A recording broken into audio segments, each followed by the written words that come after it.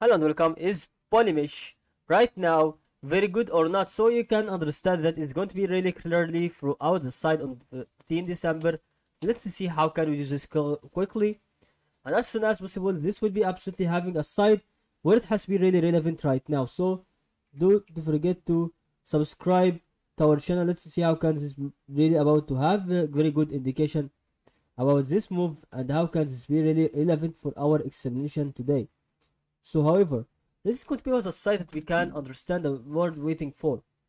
And this still has to be a thing that we are going for having both a style that can be really relevant for our explanation as soon as possible.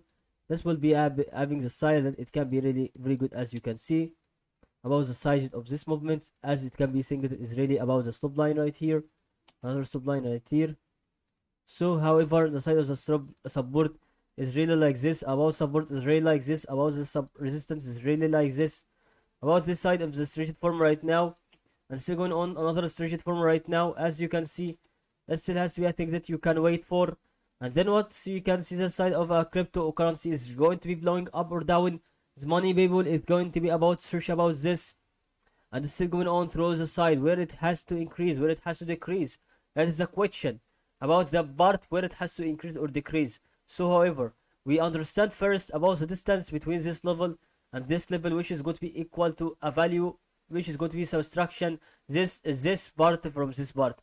So about say 0 uh, 0.2 centimeters that is about to be having a distance here about 0 0.1 and 0 0.1 and this exactly be between that part on that part on value. That is all help